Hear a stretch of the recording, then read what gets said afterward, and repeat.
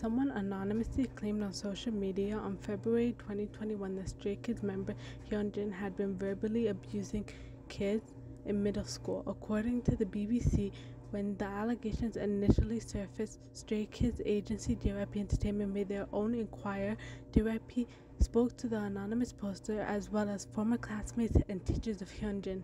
Hyunjin has been suspended from working indefinitely for the time being. Hyunjin apologized in person and via Instagram.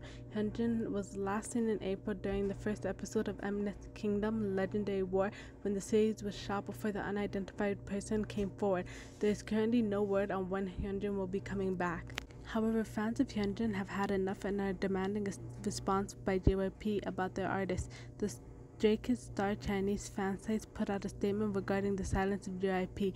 The notice reads that since February 22nd, we have not heard any message from or about Hyunjin for three months. During this period, we as loyal fans have also suffered a lot of rumors, and abuse attacks. Because we believe in the decision making ability and judgment of your company, we did not waver. We waited quietly and firmly supported Hyunjin. However, it is regrettable that your company has been silent and does not positively deal with the artist and his fans on this matter. Such an unlimited interpretation of the activities is really painful for the artist and his fans. JYP hasn't responded yet, but we hope that the label issues a statement soon and lets Hyunjin come back to join his brothers and Stray Kids.